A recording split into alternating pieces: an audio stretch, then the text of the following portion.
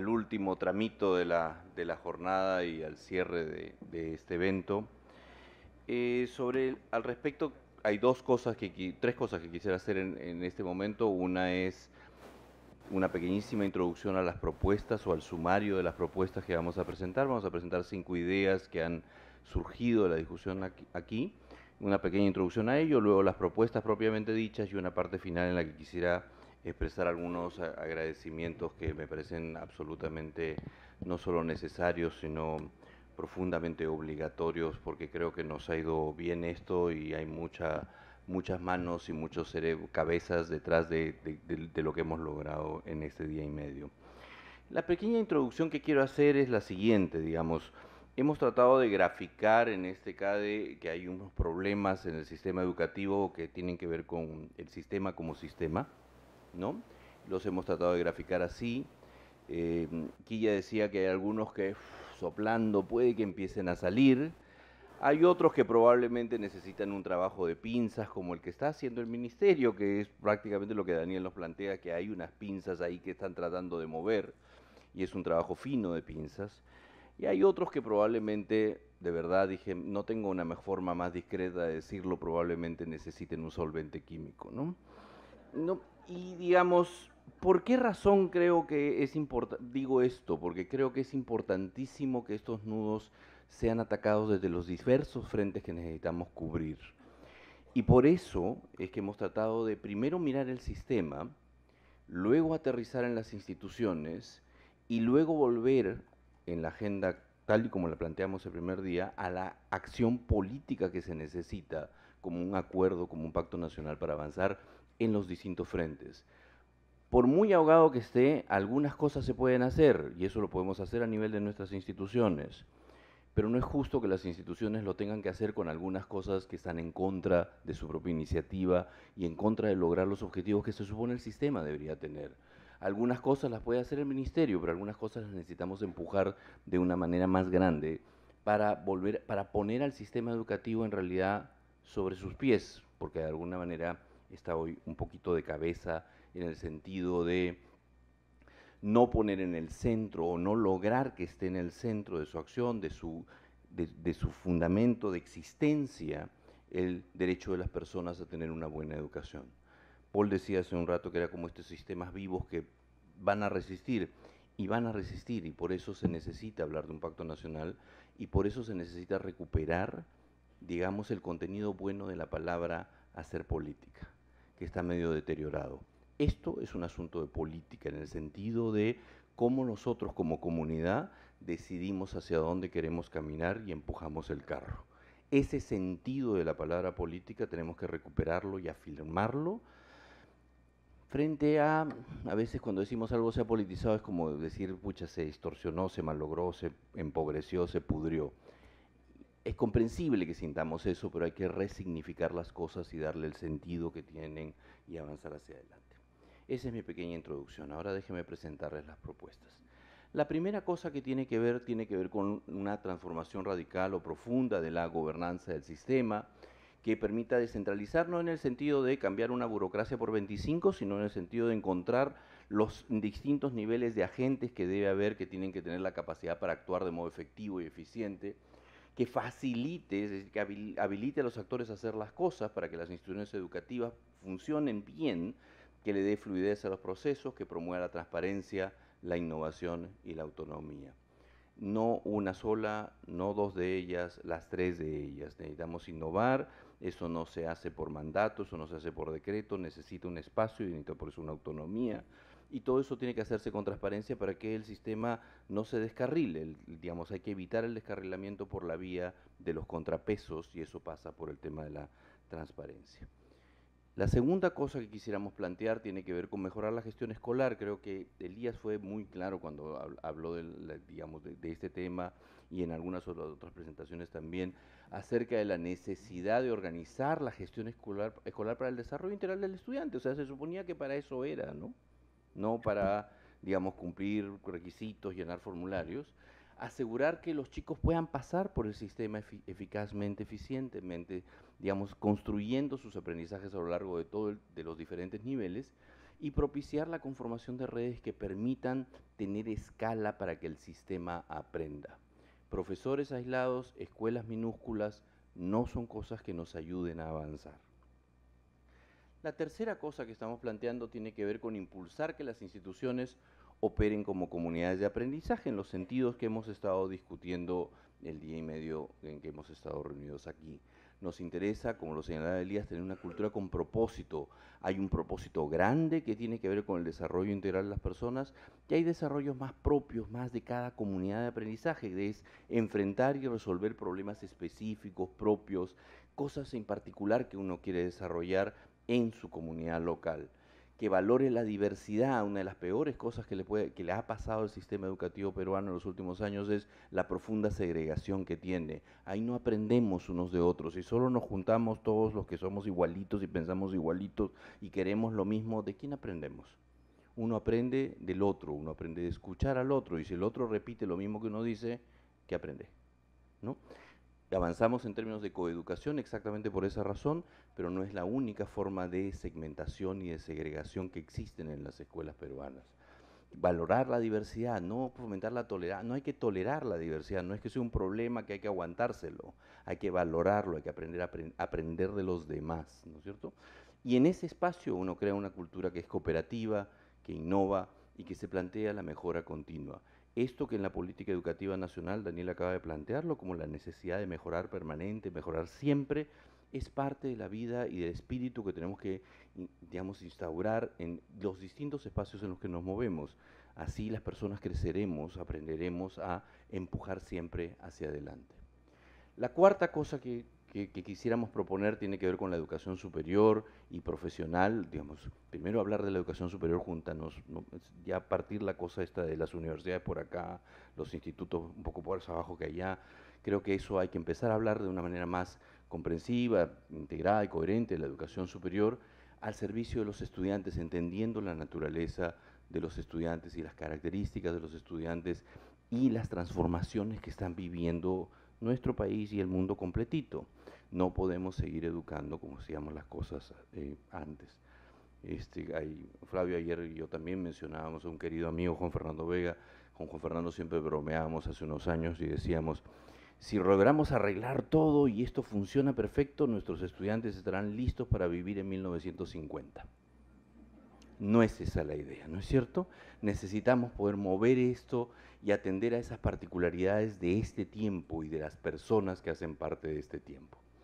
Y la última cosa, como bueno, no será ninguna sorpresa, es esta quinta propuesta que tiene que ver con hacer un pacto nacional por la educación, porque necesitamos sostener las cosas en el tiempo en un país donde las instituciones son frágiles y hacen difícil esa sostenibilidad. Tenemos que comprometer a todos los actores posibles, porque van a haber algunos que no les va a gustar, va a seguir habiendo comunidades que va a decir, no, yo quiero mi escuela acá y no a 300 metros porque ahí entonces van los de la comunidad vecina que yo no los quiero ver, ¿no es cierto? Va a seguir habiendo eso en el país. Va a seguir habiendo la comunidad que va a decir, no, no, no, no, no, acá los de la comunidad del otro lado del río eso no pasan. Va a seguir habiendo eso y va a seguir habiendo un montón de otros problemas asociados y por eso necesitamos empujar el carro y arrinconar esas cosas que existen, que son partes de la realidad, pero que han terminado poniendo el sistema educativo un poco de cabeza. Necesitamos transformar para eso de modo sostenido el sistema educativo, capitalizando las oportunidades que se derivan de la transformación digital. La presentación de hoy día de Mariana, una de las cosas más bonitas que creo que tuvo es que ustedes cuando dijeron transformación digital esperaban ver fotocomputadoras, ¿no? No, es los procesos que están detrás de eso, las ideas y las transformaciones que están detrás de eso, lo que realmente importa. ¿no? esto, esto no es un aparato que uno usa para algunas cosas, igual yo a veces lo uso como cuaderno y a punto, ¿no? Pero hay más que eso, hay un cambio en los procesos y en las formas de vida de las personas y si eso no lo capitalizamos y no lo entendemos, estamos fritos y no, y no lograremos avanzar. Estas propuestas, por supuesto, digamos, las vamos a documentar bonito, en un documento más formal, más explicado, más desarrollado. Este, las vamos a entregar al, Ministerio de Educación, las vamos a entregar al Sindicato de Maestros, las vamos a entregar a distintas organizaciones, las vamos a entregar al, Consejo Nacional de Educación.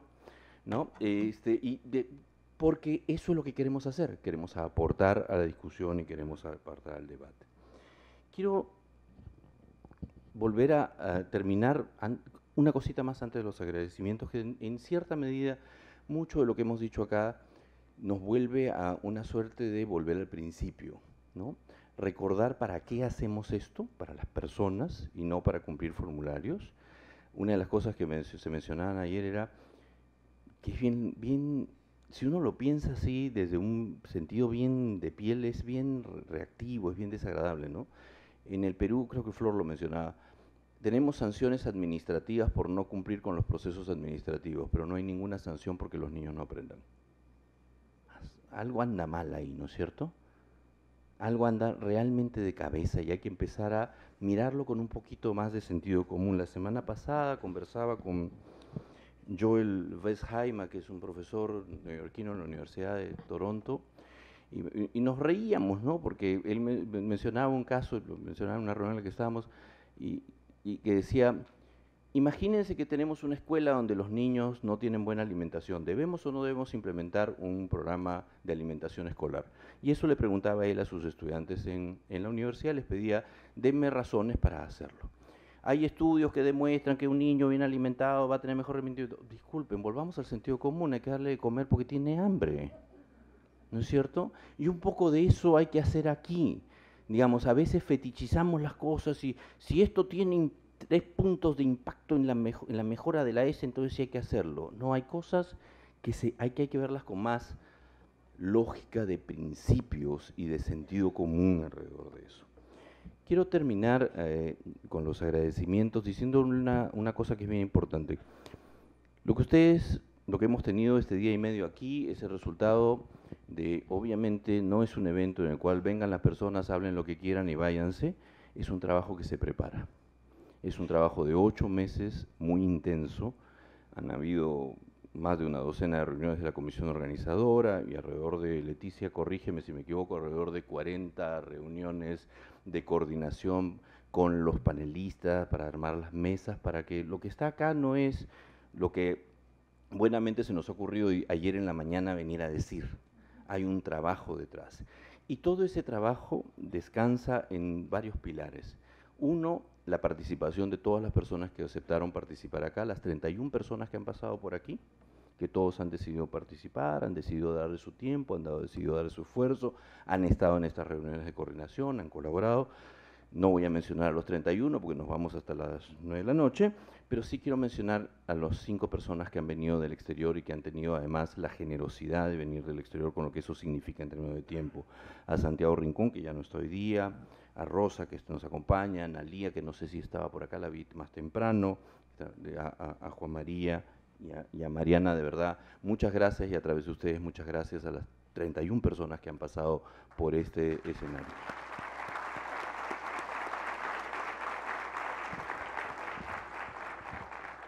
Y el segundo pilar sobre el que descansa todo esto es evidentemente IPAE, que es la organización que hace eso y en particular su Centro por la Educación. Yo quiero agradecerles infinitamente a Leticia, al equipo que trabaja con Leticia, que están por allá, la veo a Carla, la veo a Leticia por allá, a, todos los que han trabajado en la parte de prensa, la parte logística, en todo en realidad, lo, que ponemos la cara acá solo ponemos la cara, ellos es lo que han hecho la mayor parte del trabajo para armar las cosas aquí, y en particular a Julio, a Julio por la, generosidad, a Julio por, digamos, a través de Julio a todo IPAE, su directiva, por el compromiso de organizar este tipo de encuentros para que podamos avanzar y tratar de empujar las cosas hacia adelante. De verdad, muchísimas gracias a todos.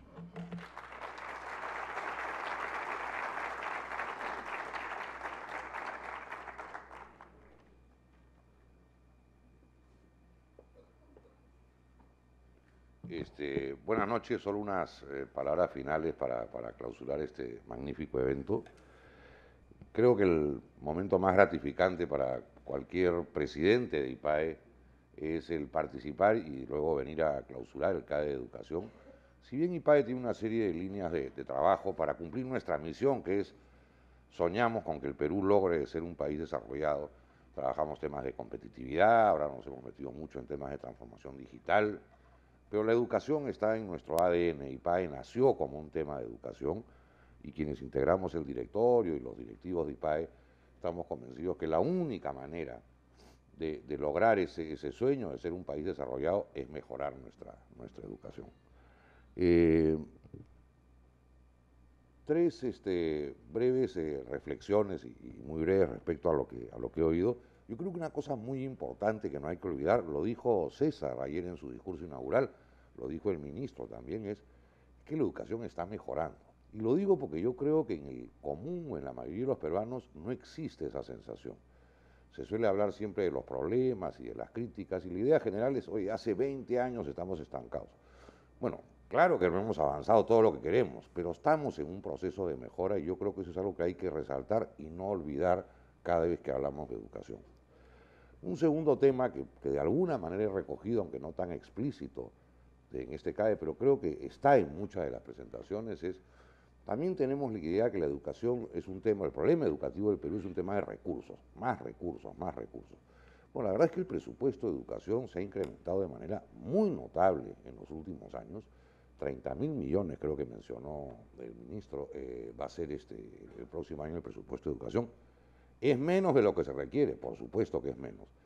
Pero también creo que se evidencia que con, ya con el tamaño de presupuesto que tiene, hay cosas que se pueden hacer mucho mejor en base a eficiencias, en base a mejoras operativas, en base a mejoras de organización. Y creo que eso es algo que hay que rescatar. Y por último, un tema, y el dato que a mí más me impactó, lo dio Hugo Díaz hace eh, pues, pocos minutos, esto de que en 60 años hemos tenido 56 o 54 ministros de educación convencionales. Bueno, entre 56 y 50 no hay mucha diferencia. Es decir, para quienes venimos y nos hemos desempeñado toda nuestra vida en el sector privado, pensar que una empresa en 60 años haya tenido 54 gerentes generales es la garantía de que esa empresa, primero, no existiría hoy, hubiese quebrado hace muchísimos años. Tú no puedes cambiar un líder cada año, cada año, dos meses, porque es casi una garantía de fracaso. Entonces, además de desearle larga vida al ministro, después de conocer ese dato, eh, creo que eso es lo que además justifica este pacto nacional por la educación que está planteando este CAE. Es indispensable, no solo porque tenemos debilidad en instituciones, sino que porque tenemos ministros de educación que duran un año y un mes, que estoy seguro va a ser la excepción en el caso de, Daniel, pero entonces, por lo tanto, lo que tenemos que tener es esa ruta y ese pacto claramente establecido para quien sea que vaya tomando la posta, lo pueda hacer pues sin tener que cambiar todo. Por lo tanto, yo los invito a, suscribir, a activamente trabajar y estoy seguro que con el CAD de Educación en Acción, que comienza seguramente el próximo mes, con esto que nos comentaba creo que Elías ayer, eh, va a comenzar a trabajar en este Pacto Nacional de la Educación. Solo entonces para finalizar, nuevamente agradecer a, en realidad a todo el comité organizador, pero digamos lo hago en la persona de César Guadalupe, creo que ha sido un fantástico evento y de IPAE nos sentimos cada vez más comprometidos, pero también cada vez más orgullosos con el CAE Educación. Muchas gracias.